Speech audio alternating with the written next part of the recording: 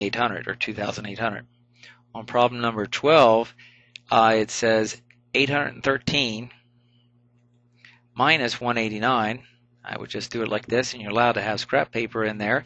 So let's see, 13 minus 9 is 4. That knock this down to a 0. I'm going to borrow 1 from here. 10 minus 8 is 2. And that now is a 7, and 7 minus 1 is 6. So 624 is the answer to 12. Uh, 13, well, if we take a look at uh, 13, it's just another adding a fraction type of problem, or subtracting this time. 5 twelfths uh, minus 3 fifteenths. Well, one thing is that 3 fifteenths can be reduced, and that's the same as uh, 5 twelfths minus 3 fifteenths reduces down to 1 fifth. So now just get a common denominator, which is 60. And uh, 12 goes into 65 times. 5 times 5 is 25. 5 goes into 12 12 times. Sorry, 5 goes into 60 12 times. 12 times 1 is 12. Subtract, and you get 13 sixtieths. And that does not reduce. On 13, I see that was 13. 14, let's go ahead and do 14 here. It says 5.4 is equal to what fraction? Well, 5.4, well, the 0.4 means 4 tenths. So this is 5 and 4 tenths. We can reduce that and say that's the same as 5 and 2 fifths. So that's a fine answer. If they want it as an improper fraction, 5 times 5 is 25, plus 2 more makes 27 fifths. So both of these are right. On uh, 15, 15 says Tom won some money in, a, in the lottery.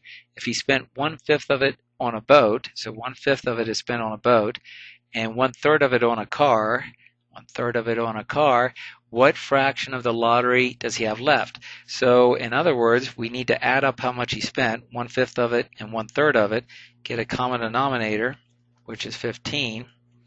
5 goes in there 3 times, 3 times 1 is 3. 3 goes in there 5 times, 5 times 1 is 5.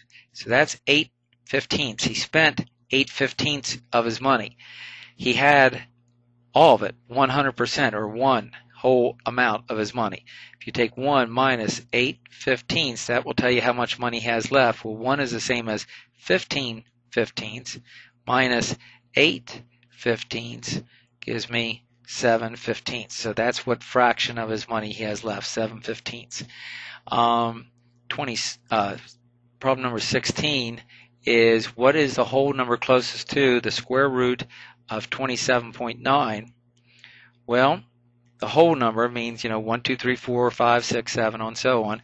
Square root of 25 is 5 because 5 times 5 is uh, 25, and the square root of 36 is 6, and 27.5 is a lot closer to 5, is a lot closer to 25, so 5 would be the closest answer on that. So the closest whole number would be 5.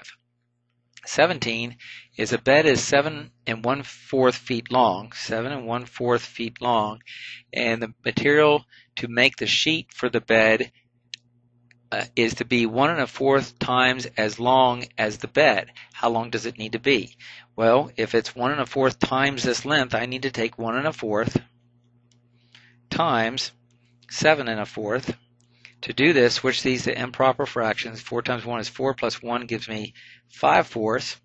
So that's 5 fourths times, this would be 4 times 7 is 28 plus 1 more is 29. 29 fourths. And that gives me on the bottom here, 4 times 4, well, nothing reduces here. So 4 times 4 is 16. And on the top, just take 29 times 5 and that's 45. Carrier 4, that's 14. So that's 145 sixteenths. And that's fine if you leave it like that, or you could take the 16 into 145 and, and uh, write it as a mixed number. But that's the uh, pre-algebra section, and that will do it for the placement test.